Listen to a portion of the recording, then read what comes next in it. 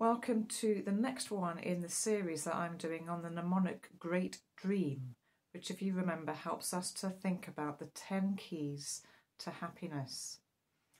So far, we've covered G for giving, R for relating, and E for exercise. And today we move on to the letter A, which stands for awareness. The key emphasis about this one, about developing awareness, is about getting better at taking the time to stop and take notice of what is going on in the present moment. Learning to be aware in the present moment really can do wonders for our well-being. That might seem strange, but remember that all these keys are based on evidential research. It helps us get in tune, that, that awareness helps us get in tune with what's going on in our bodies and in our minds. It helps us to stop dwelling on the past and projecting into the future.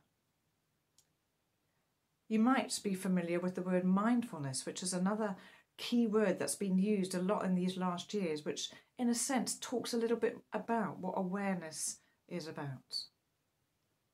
Two of the key things on mindfulness, which are just as important for when we think about awareness or developing our awareness, are this. First of all, that it is a it is an intentional practice, it is something we intentionally do. And when we thinking of developing our awareness in the present, we need to make the space to intentionally do it.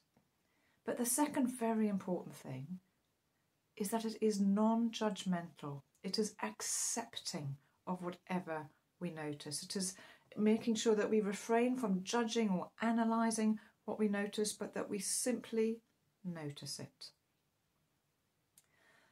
Now, I wonder as you're listening if any of you have been reminded of what I've often talked about when I've talked about centering prayer because there are many similarities to the secular practice of mindfulness and to this kind of prayer. This kind of prayer encourages us to stop, to slow down, and to simply notice what is present in the moment as we centre ourselves on God. It's a brilliant way to both develop our prayer life and, surprise, surprise, it also has a positive impact on our well-being. So to finish this thought for the day, I'm going to I want to just remind you of this practice of centering prayer and I'm going to add a couple of extra little things in it to help you to develop it in terms of improving your the way that you develop your own sense of awareness.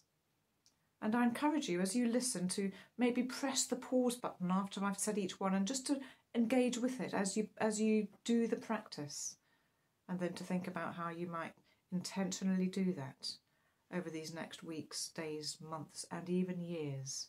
Notice I use the word practice. It really does take practice, and the only way it will become a habit is to do it intentionally day by day. So I invite you now just to make sure you're sitting somewhere comfortable. And firstly, just to acknowledge God's presence with you and around you just by saying the words, Lord God, I welcome you into this space. Maybe press pause as you do that before you move on. When you've got into that space, focus then on your breathing. Take some long, deep and slow breaths. Slow your breathing down. Inhale through your nose and exhale through your mouth if you can, and do that for at least a minute. Again, just as a way of becoming present in the moment and stilling your mind and your body. Again, maybe press pause before you move on. And now, notice what is present. What can you see? What can you touch? What can you ha- what can you hear? Can you smell anything? Can you taste anything? Just become aware through your senses of what you notice in this moment. And then, having done that, don't think about those things, just become aware of them and return back to focusing on your breathing. Now, if you're anything like me and like most of the population, one of the things you will notice is that the chatter in your mind starts to go double speed. There's something about when we begin to slow our bodies down that we become more aware than ever of what's going on in our heads. That's okay.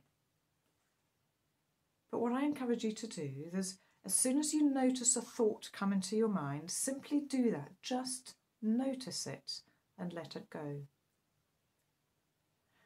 Some people find it really helpful, and I know I've talked about this before, to imagine your thoughts as boats on a river. Imagine you're standing on a riverbank and you see a boat coming by. Notice the boat and then just watch it sail on past. And it's a bit like that with your thoughts. Notice the thought, whatever it might be.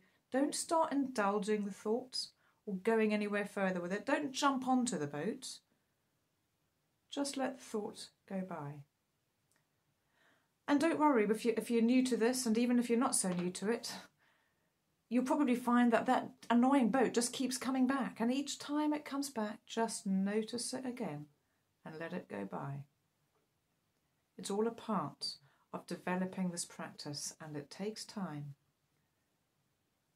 The important thing is that when you notice your thoughts, is not to indulge them, not to start analysing them and going further with them, as I say, not to jump on the boat, but simply to notice them and accept them.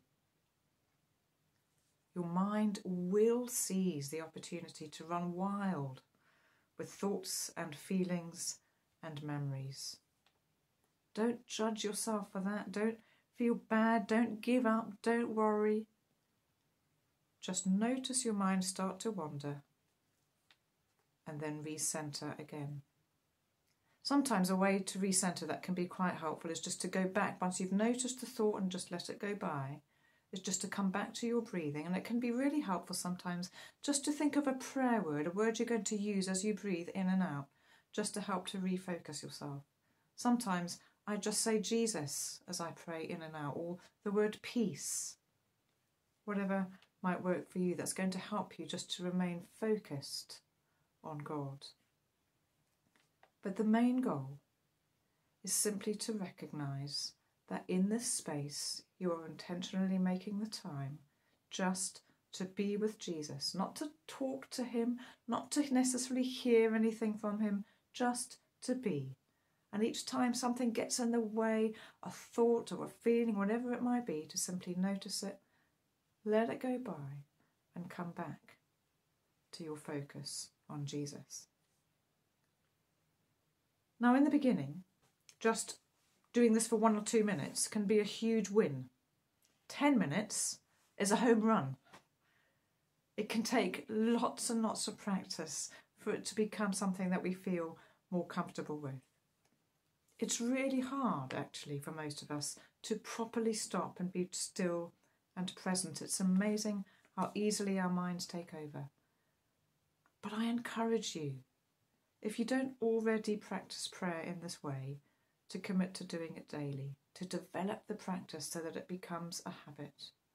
Start small, even if it's just for five minutes a day, even if it's just for two, although I think you'd struggle to do to really kind of begin to slow down if you did it for anything less than two. And I'd encourage you to try and start with five. It takes practice, it takes discipline, but goodness me, it is worth it. It's a long term practice, but you'll, you will begin as you get into the practice to notice the difference. And you're bound to because you're opening yourself up to spending time in God's presence, and God changes us, He transforms us. I've noticed since I've been doing this practice for several years now that, that I do generally feel more, more at peace in myself. I've noticed myself changing. It's not something I notice day by day because it's a long term, big picture thing. But my well being and my relationship with God has grown and deepened. So I encourage you take the time, make the time to think about how you can become more aware in the present moment. It might even be that you say, well, if I go out for my daily walk, I'm going to just find time just to stop for five minutes and see how I can indulge myself in this practice, partly to help my own well being and partly to deepen my relationship with God. So, are you willing to do it? Are you willing to try developing this practice? That's my challenge for you and for me today. God bless.